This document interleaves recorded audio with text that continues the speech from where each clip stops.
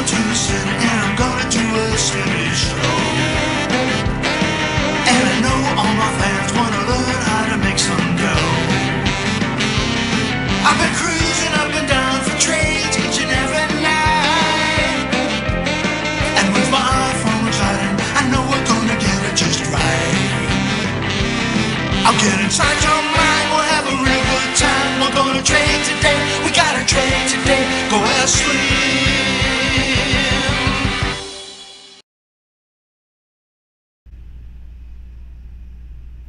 Hi, I'm Steve Miller. Call me Slim. And this is the Ask Slim Market Week. It's a look back at what happened in the financial markets in the past week and a look forward at what might happen in the next week. And this has been a week we're all going to remember. The Dow Jones S&P 500 both down around 5% on the week, and that is the worst start ever for the stock market. Amazing as we've had this big decline. If you saw my predictions for the coming year, you know that I thought the high was going to be made for the stock market pretty much right at the beginning, and that the low is going to made some be made sometime in the first quarter. Go watch that if you haven't seen it. And uh, we have really started out like that is going to be uh, a true uh, prediction. Now uh, this is all about China. China, the leader on the downside, down some 10% on the week. They had two days where they hit their 7% circuit breakers, and finally they said, well, they better get rid of those things. Uh, and uh, there is just, you know, when you have circuit breakers on, uh, there's just huge fear that people are going to get stuck and can't get out. So uh, it just brings a ton of selling, and that's just control of the market that just makes no sense. And uh, so they got smart and they pulled their circuit breakers. Uh, the Chinese yuan, eight straight days on the downside before it stabilized on Friday. Uh, they have completely lost control of their currency. Maybe they do want it to go down, but their actions, everything I see, is that they are trying to stabilize it and spending a lot of their uh, foreign currency reserves to do so, maybe even uh, spending some of their gold. But gold did get uh, a move up in the market this week, uh, and gold stocks, well, some of the only ones that got some decent up moves. I'll show you that in just a moment. Uh, oil moves down again on fear of this world uh, economies slowing down very significantly. And as a matter of fact, we've had some downgrades. Barclays comes out and downgrades world growth, U.S. growth, pretty significantly. I'll show you that in a moment too.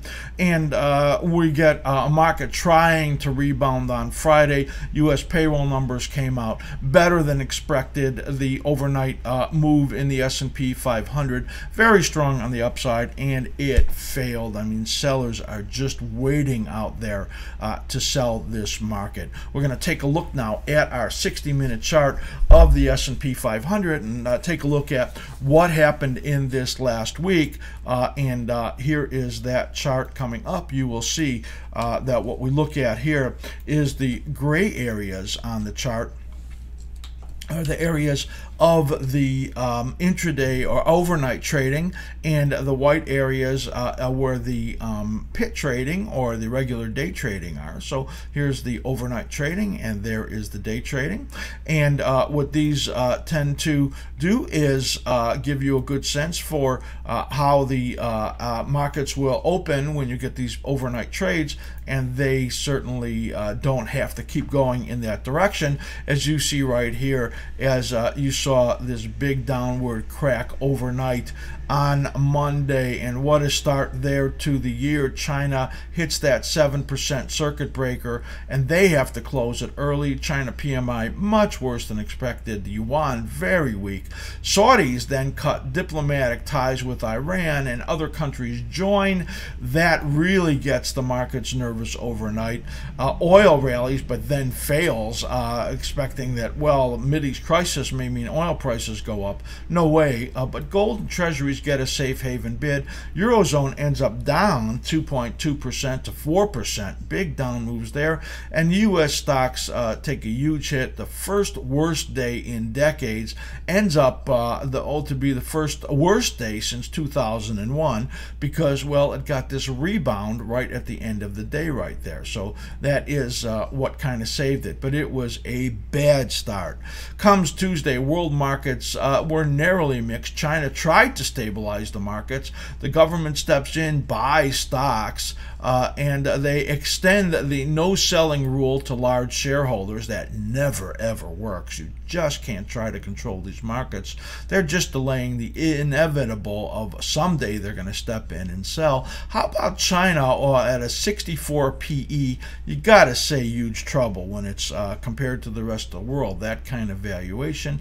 Then Citi comes out and cuts the U.S. stock market to underweight. That doesn't help either. And U.S. stocks, well, they were stable, uh, but then actually give it up and then come back at the close. You can see that. But Apple weighs on the markets as they come out and say they're 30% cut on a Q1 iPhone 6 production, and uh, Apple went into free fall pretty much for the rest of the week after that. Comes Wednesday, and North Korea explodes an H bomb. At least they say they do. People are doubting whether they did it, uh, or there was just a big 5.1 earthquake. Um, I guess we're not going to know for sure. But then China drops the Y bomb, and they just let the yuan drop very, very sharply. Between all of that, we get all of this selling coming in overnight. Also, European stocks down about 1%, and up off their lows. China gets a rebound up 2.2%, which doesn't last for long. U.S. stocks drop sharply and then rally and then can't hold it. Man, we've had a lot of that as these bids cannot stay up. Uh, some days we don't get much in the way of bids uh, anymore. Oil down 5%, sub $34 at 11 year low. The ADP kind of told us about the fact that uh, we could get some strong job growth up 257k, but oil stocks are totally crushed, 8 to 12% on the day.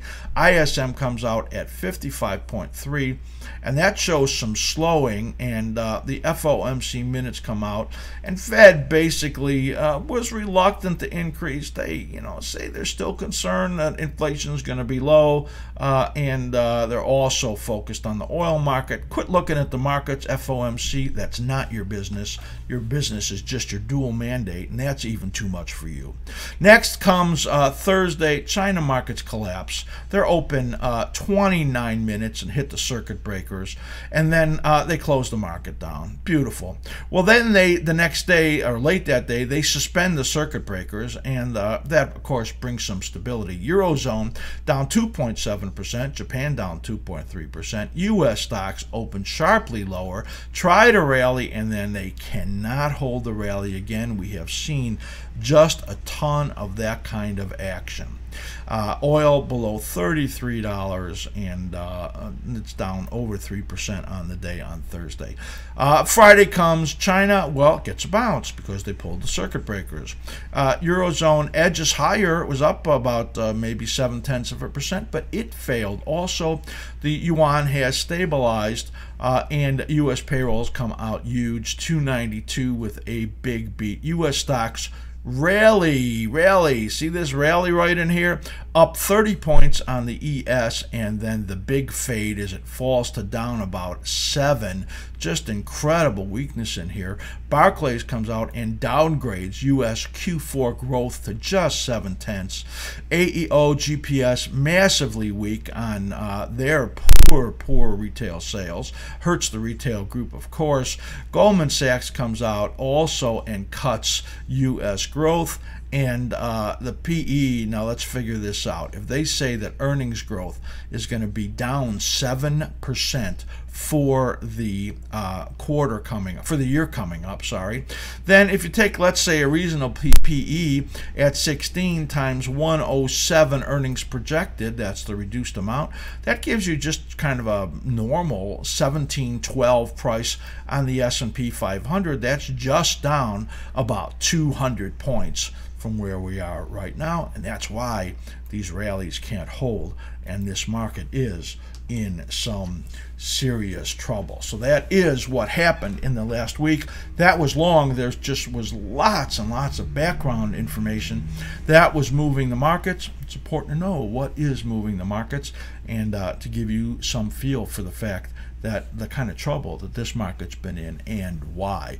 Let's take a look at our earnings calendar for the next week as uh, we look at the earnings and uh, economic calendar. Of course, not much coming out yet in the way of earnings, but the following week they're going to start to pick up. And here is that earnings and economic calendar. So uh, earnings, uh, they're just going to start to come out. Of course, always the first one to come out is Alcoa of the big ones, and that comes out Monday after the close. And uh, we get CSX on Tuesday, then they start to come out.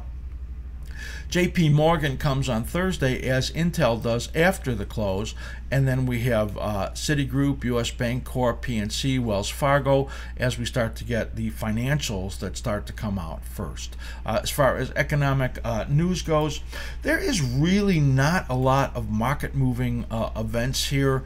Uh, news items that could come out. I don't see much in uh, at all that could happen. sometimes the beige book gives you a little move. consumer sentiment could get the market to move, but no big movers there there as far as uh, economic news. So I don't think that there will be a lot uh, that moves it, but there is plenty of news coming from overseas, and everything is going to be focusing on China and the yuan and uh, the moves uh, into or not into the U.S. dollar and how the safe haven bids come uh, in uh, the bond market or in the gold market, as we have seen. So plenty there and plenty to talk about. so that's it for the opening opening segment, and we'll be back with the best and worst of the week.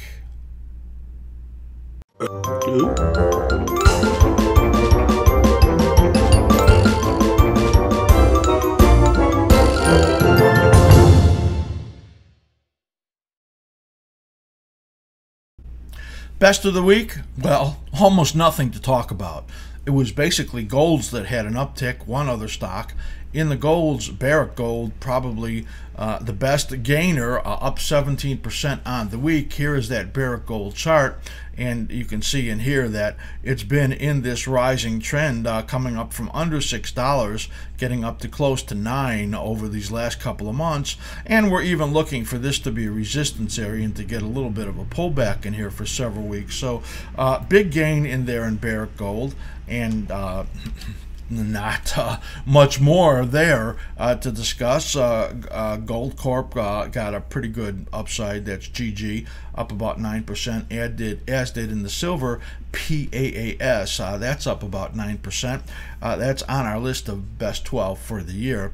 A GDX gains about 7% also on our list, and that's about it in the golds. As far as one other stock to discuss, Time Warner, TWX, on the discussion of the HBO spinoff, got a very good pop. So this is the only other non-gold stock on my list that got any kind of a real upside move, and you can see in here as it moves up about 13% on the week.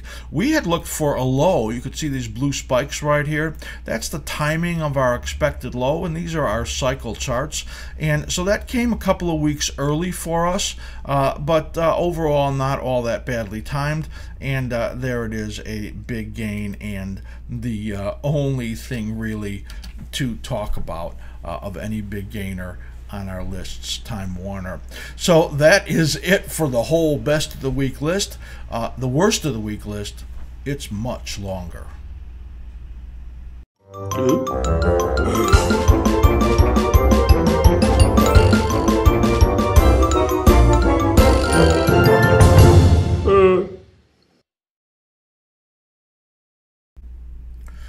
For the worst of the week, well, the list goes on and on and on. Incredible number of stocks that are down between 10 and uh, 29%. Let's talk about that 29%er right now because uh, I'm probably going to stop talking about this one pretty soon. Sun Edison, S U N E. I'm not even going to show the chart. 29% on the downside, down to three and a half bucks here, and a company with huge problems. Man, it just shows you that buying these stocks uh, on the way down, well, just nothing but trouble. When something's wrong, something is wrong.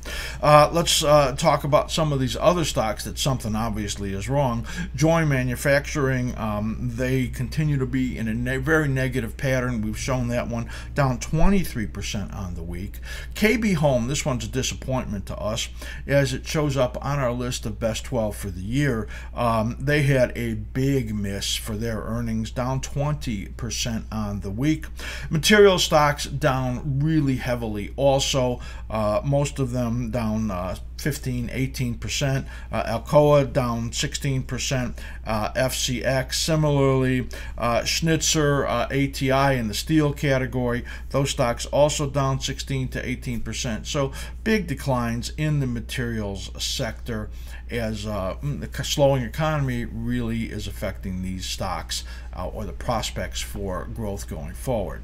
Um, let's uh, take a look at a few of the charts here. We're going to look at six of them right now in this worst list.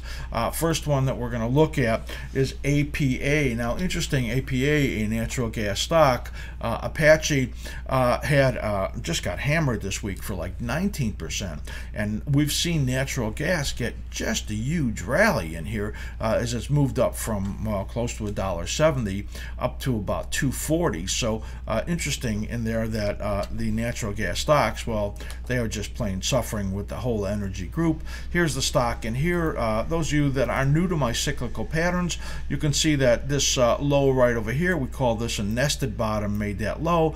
The next low is, is uh, projected out here in March. So big decline in here. We believe that rallies that uh, will come in these energy stocks, and especially this one in APA, is likely not to last.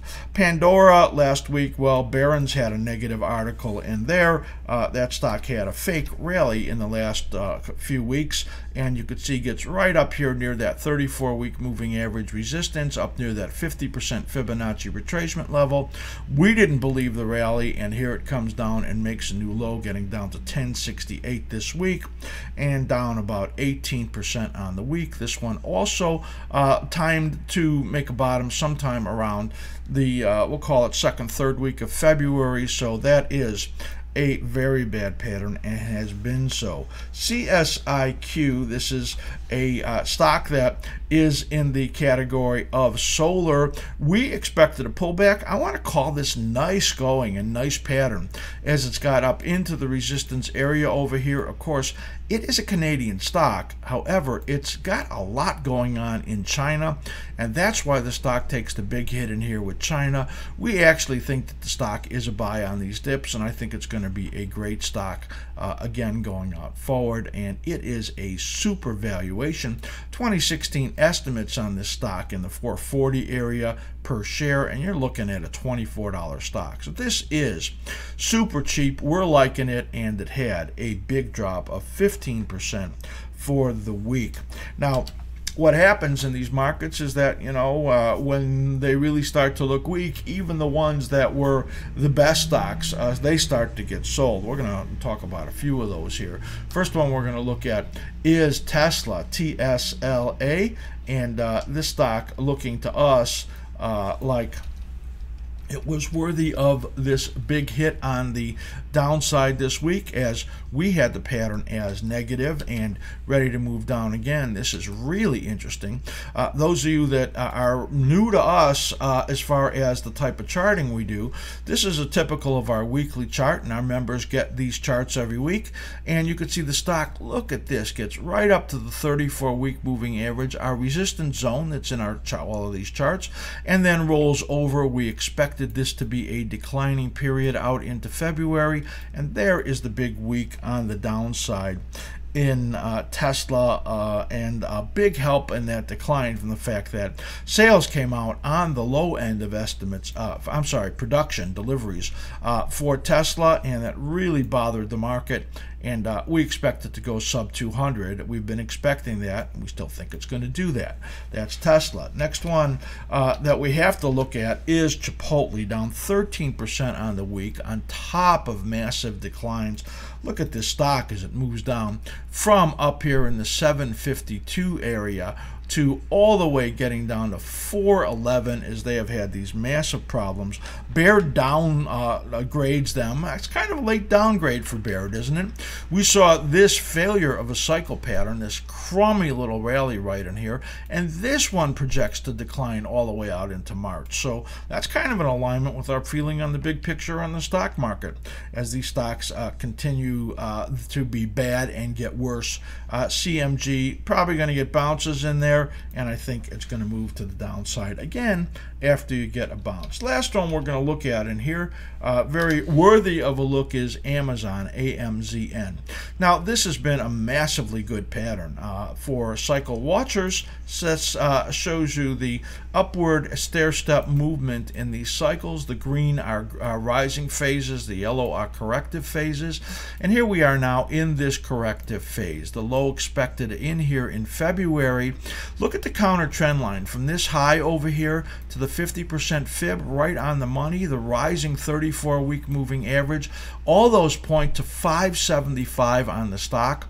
It's now at 613. We expect it to continue gyrating its way on the downside. Amazon Monness Crespi downgrades it on the week and it loses 10%. Finally, well, talk about crazy valuations. This is a crazy valuation. That is it for the worst of the week. I could have gone on and on. They've just been bad. That's it. And uh, we will be back with uh, our emails and tweets.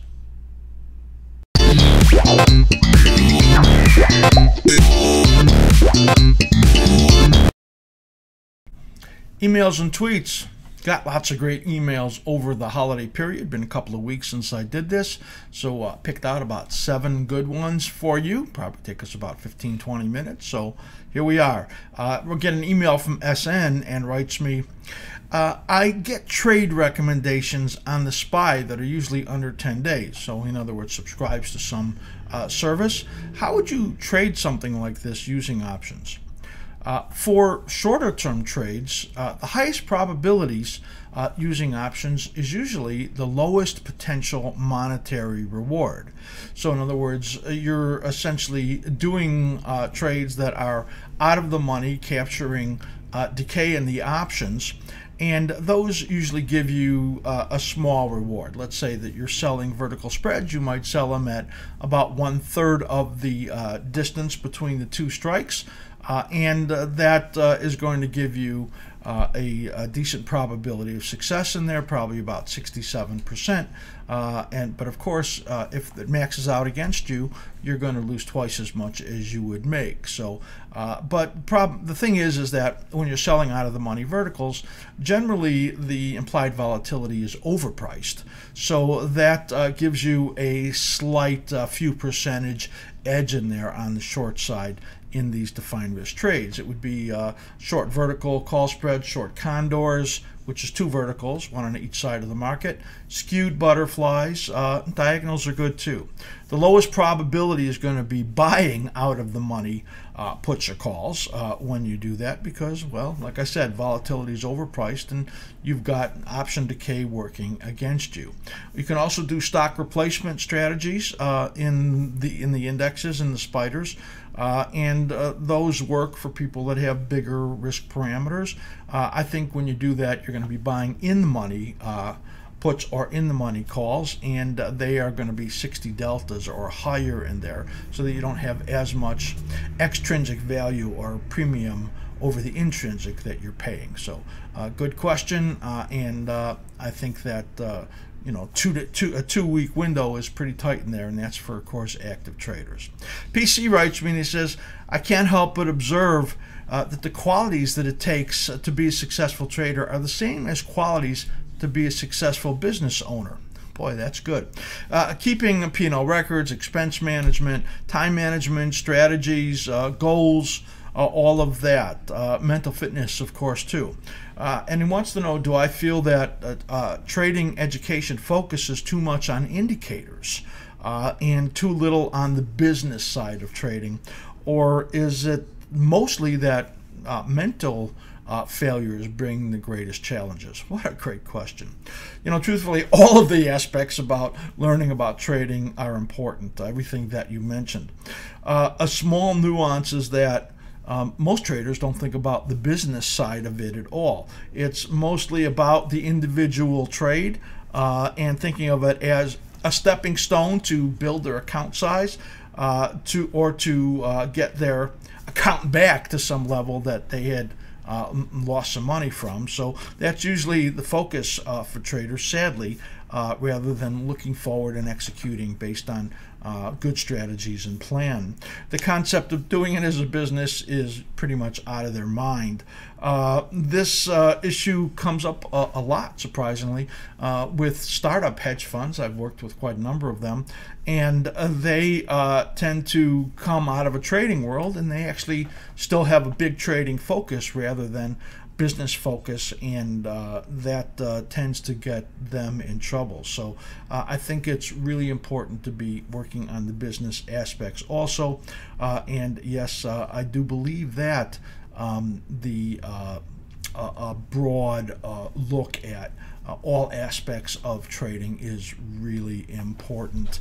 Um, if uh, the if you think about the reasons for failures, uh, the most to me of people I work with is on the mental side. Um, that that can be actually be responsible for them not looking at the business side at all because they're so trapped in emotion and just you know so focused on the trade that they can't think about business. Uh, I always start out when I work with traders on the emotional side. I never ever in the first couple of sessions we hardly even talk about trading at all because of how important it is. Uh, if you look on my website at the uh, five essential building blocks, that's my workshop coaching uh, curriculum, uh, you'll see in there I take a very holistic approach, and uh, that's a lot what I comment on and do a lot of my videos on. KC writes me and he says, A question I have been meaning to ask you about as it relates to a comment on a recent question that he had sent, uh, where uh, he had asked me something, and I said to him that a specific level is a good target in a couple of weeks. Um, and he wants to know how do you go about setting uh, reasonable uh, price movements expectations relative to time? Well, I mean, anybody who's followed me knows that time is a very big uh, component of what I do. We're going to look at a chart here of Disney and uh, give you some example. The first thing I look at uh, is a cycle analysis, of course, and give me a sense of time in there, but then I use uh, support and resistance levels as a uh, way to uh, project levels. Now we're going to switch over here and look at the Disney chart. Here you can see that here. And uh, as I always do, uh, the weekly chart is on the left and the daily chart is on the right. So we're going to blow up this weekly chart for you to see right here.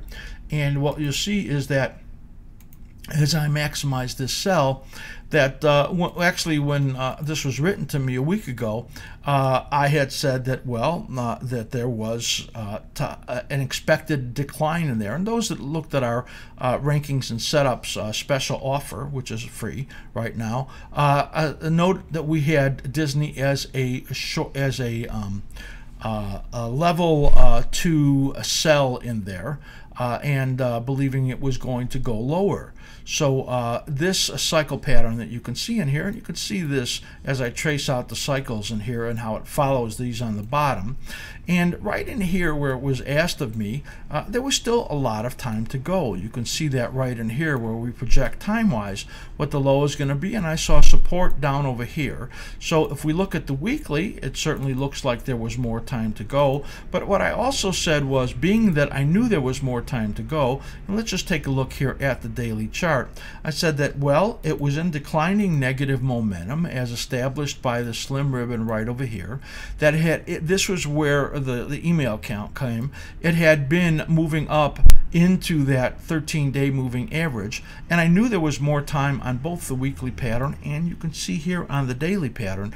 That was suggestive of me that the stock was going to break under 100, which was my target in there. And sure enough, the stock got under 100 now. So I, I, I do this combination of uh, charts where I look at weekly cyclical patterns and I look at support resistances, and that's essentially how I project out time wise. So, good question. Gave me a good uh, a, a chance to uh, talk about that.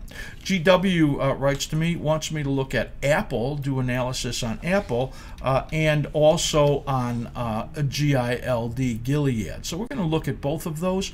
Apple actually was a stock that uh, we saw coming down to support and had thought it would get a bounce. We had a short term uh, long side trade on there, a setup actually, which did not work.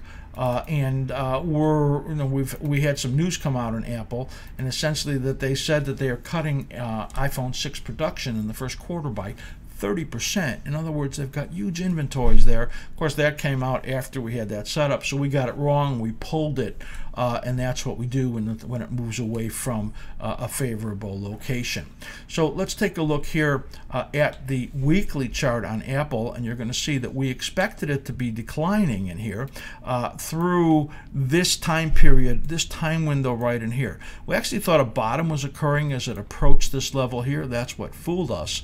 Uh, and expecting it to upturn in this period right over here uh, and get up into that resistance area. Now, it fell much, much harder this week than expected. The resistance areas are going to uh, be lower in here. And uh, this stock now, next resistance, based on the weekly, at a major support at about 94.75. Take a look here at the uh, daily chart, and you can see that it is moving now into a resistant, into a support area also.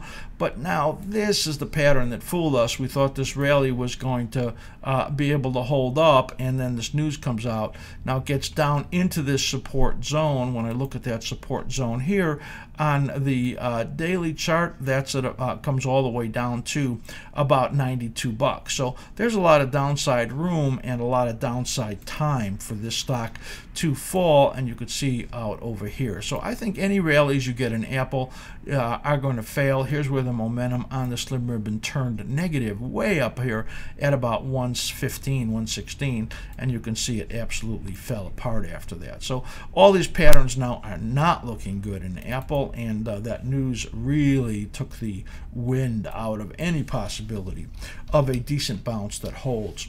Gilead, G-I-L-D, um, what you said was you thought it was coming down to its support zone, wanted to buy it.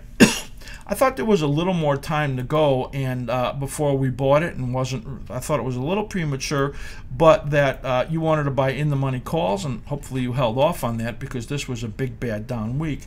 I'm not favorable on this group at all, but I think this stock is coming down, as you could see, to an important uh, low time period. Support coming in right across here. We'll call it about 93 on the stock. It's trading at 96 and a quarter. When I switch over to the daily chart that you can see here, uh, you will see that uh, it has come down to support right here at about 96.40 and uh, here is about 92 on this daily chart support so uh, here we have negative momentum still in place uh, as uh, described by the slim ribbon right over here and that is suggestive that this uh, decline may still have a little bit more to go, but the we're getting to a point we're expecting a bottom to come. So uh, somewhere in this zone right over here, we think we need to buy in the money calls as the trade, but we're going to hold off here because of the weak market and certainly the weak group. So uh, Gilead may not be the uh, best uh, choice right now uh, because, well, stuff is just plain out falling apart. So uh, maybe in the next week or so, we'll get some sign that that bottom is coming in place, and Gilead will be a good one. Uh, next uh, email from a viewer. It says, I watched uh, your FutureSpeak last week. That's our Wednesday show where we do 25 different futures contracts and all the analysis you're seeing now we do in a lot of depth. Takes about 40 minutes. Uh, and he says, in particular, I'm looking at the indexes. You commented that uh, NDX, the NASDAQ, is barely off its highs. And I wouldn't be shocked to see it go all the way down to a deep level at the 78.6% Fibonacci support area. There's a lot lot of words there, right? He says if hypothetically someone was to play uh, the higher probability, the better risk reward on the short side, it seems that priorities would be to look at the NASDAQ and the X as it has the most to give up based on what we said. It hadn't yet fallen all that much.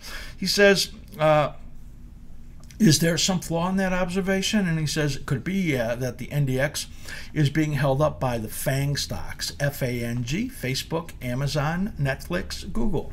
Uh, and uh, that those are the darlings of Wall Street. That's a really a great question. I'll tell you why. Because, well, I've seen like, you know, uh, 41 years as a trader, uh, I've seen at least nine bear markets.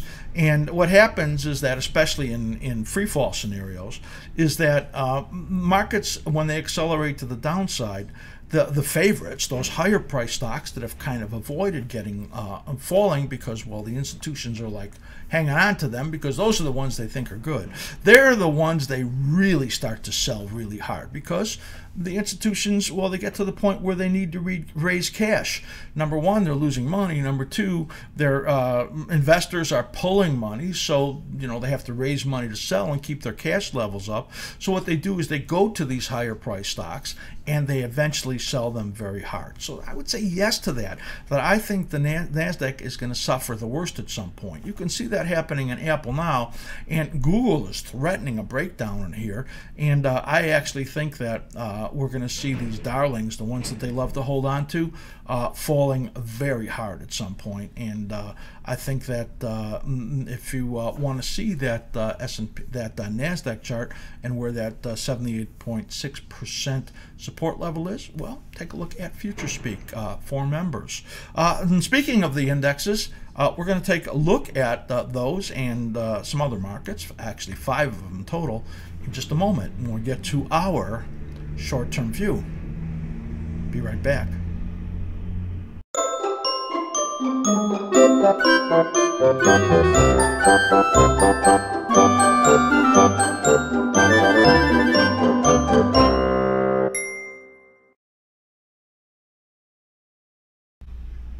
All right, this is our short-term view, and well, we haven't done this in a couple weeks because we had the holiday, and what we did was bring our year-end predictions uh, in the middle there. So uh, haven't uh, done this, and basically what we said a, a couple of weeks ago, uh, I would say pretty solid. We'd expected uh, oil to get a rally to about 39 and then pull off and uh, turn down again. That happened. We expected a rally in gold to over 1100.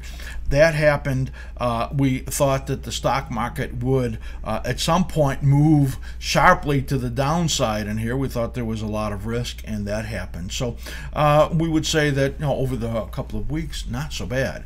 Let's take a look, though, at what we think is going to happen in the next week. We'll start out, as we always do, uh, with a light crude. We're going to only look at daily charts right now because, well, this is a short term view, but we take into consideration the longer term uh, uh, perspectives that we have that are on our weekly and monthly charts.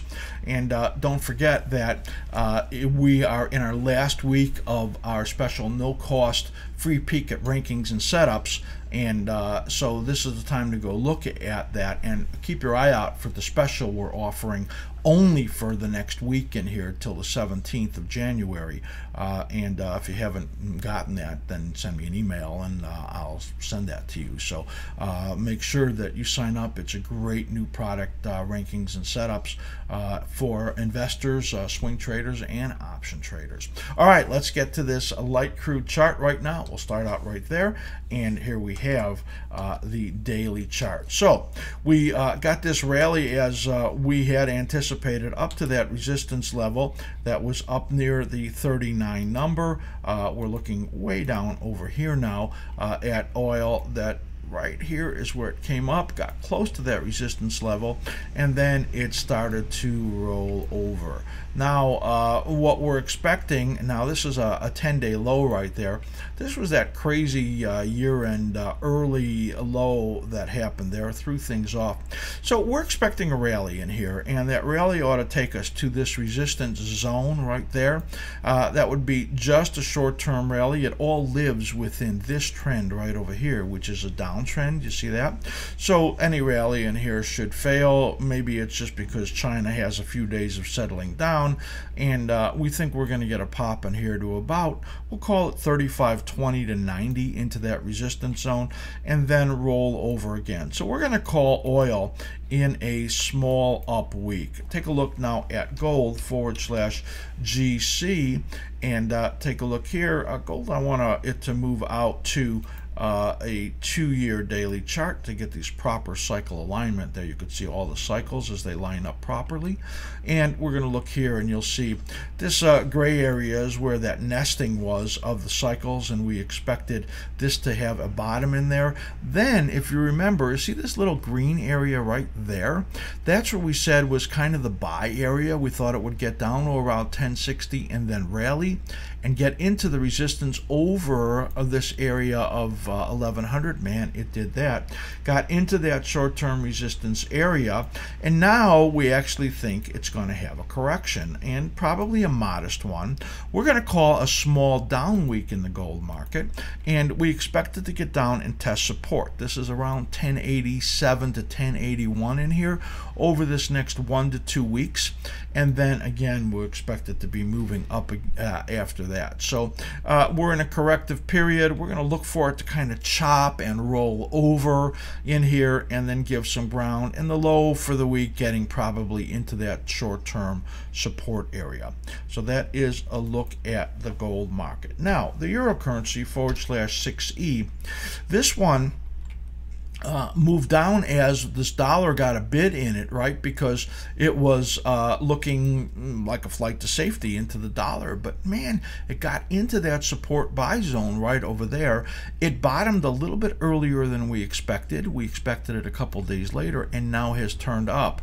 This is actually an interesting sign. It probably means that the China situation is going to settle down or quiet down a little bit. Dollar will pull back, and we get a rally in here. So we're going to call for an up week uh, on uh, a, a, slightly calmer period in equity markets.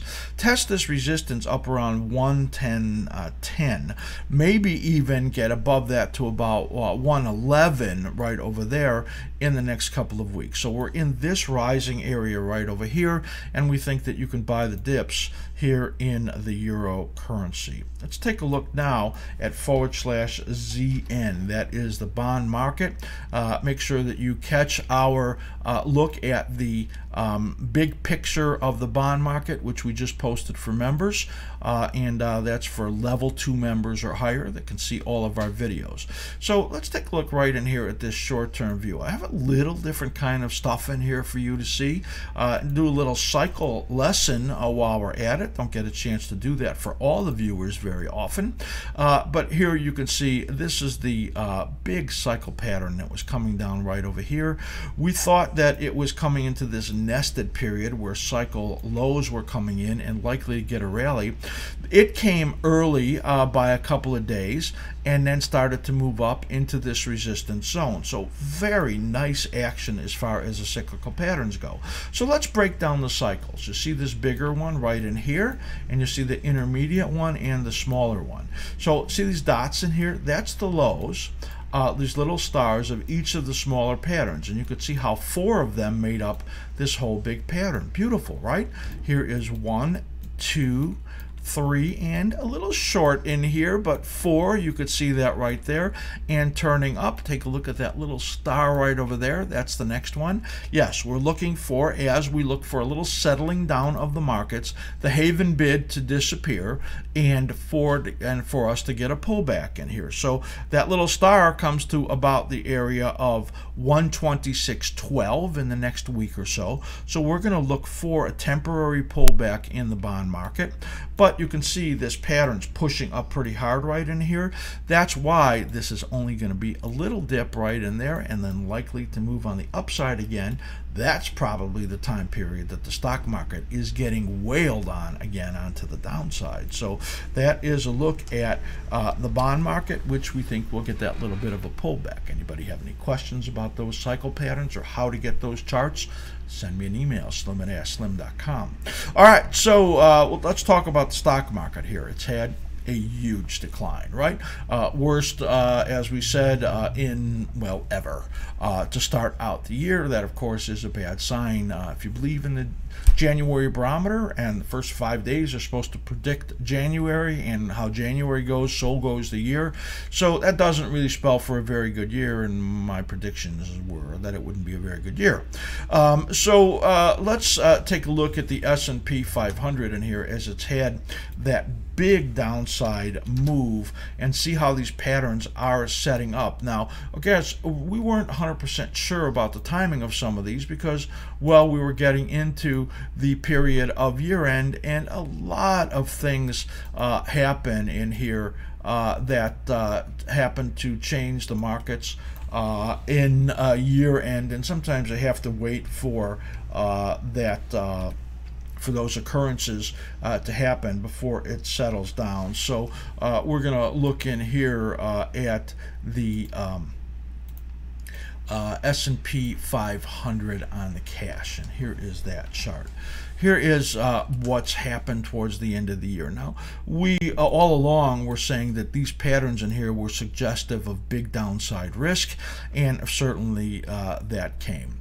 So this resistance zone, we were a little surprised it got that high when it got up there, but you can see how it stalled from that level right there. Then it has this big decline. This is a longer term 61.8% retracement level. That's a pretty key area area in there. So we're now that we're here down, uh, this is actually the uh, 12th day off of this low over here. Um, it's it's uh, actually the 13th day, come to think of it. That is, we're getting to the point where we're going to get into this bouncing area, and that's what we're going to expect. We might get another day or so on the downside in here, but we're going to look for this week to be um, very choppy and an upward bias uh, outside of the, the, possibility of a total collapse in China, which I doubt this coming week. I think we're going to get some kind of an upturn in here, get a rally. So right now, based on these numbers, and they change pretty fast, I sent out a, uh, a, revised link to our subscribers because the uh, support and resistance has changed so much in this big decline. Uh, right now, it looks to me like we're going to get a rally back. We're going to call 1993 area right here as the possibility for a bounce. That's yeah, it's about 50 point bounce in there in the S&P 500. We're not going to look for much more than that. Remember, that's the lowest resistance level we have right on here labeled. So we're going to look for a bounce in there. We're going to call it a very choppy up week with lots of risk that rallies continue to fail. Uh, but uh, we think it will find its legs for a couple days. Maybe we get one big up day in here and it gets a rally. After that, the risks are going to pick up very significantly again on the downside for some more as far as major hits go in the stock market. So very, very risky stock market. Playing for this rally in here is really risky, but we're going to call it an up week uh, and uh, have in our mind this uh, really risky period that we're in uh, and not get crazy with anything we're buying. Our rankings and setups, we've been putting in only one buy a, a day if there's anything that sets up. So let's take a look at the VIX and you'll see these beautiful short cycle patterns that are in here that have been happening. Uh, this uh, rally came right on time. You can see that there. We anticipated that. So what are we looking for now? Well, in the next, uh, let's call it week and a half, uh, it's likely that we may get a little more higher piece right here that it's going to pull over again. You see that timing right over here? So we said that the stock market's likely to get a bounce in here. It may start in the next day or three days. This peak may come in the next day or three days. Then after that, we get into a period where the VIX pulls down a little bit. This is that area where we thought uh, that we would be looking at the beginning of the next stock market decline and big uptick here in the VIX. We really expect to get, you know, in the 30, high 30s 30s or 40 in the VIX before this is over with. Uh, so we're just entering into a period of modest correction in the VIX. This coincides with what we're expecting in the stock market. And uh, so a little bit of a bouncing period potentially in here, but overall tons of risk and you got to be careful when you buy this market that the rallies are just not going to hold up. That is our short term view for the coming week. Hope you have enjoyed the show. Don't forget, still in this trial period for rankings and setups, and uh, we really want you to take advantage of that. We think it's one of the best ways for you to improve your trading, raise your probability of success, because what we do is give rankings on three different uh, time frames. You can, if you're an investor, uh, a swing trader, or an option trader, and then uh, normally one to three times a day uh, or one to three setups a day will bring you that uh, we believe are high quality entry periods. We're going to be wrong on lots of them, especially in crazy markets that have big moves. But basically, we believe that we're giving really favorable entry points, and uh, that really should improve overall profitability for you. So please give us a whirl. We're going to, you know, give a little discount for the next week only uh, if you sign up for three months. So if you haven't seen that uh, link sent out to you in the next couple of days, let us know. So uh, that is it for Market Week. Uh, I will see you next week. And I'm always wishing you great trading.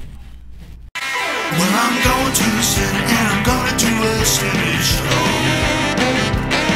And I know all my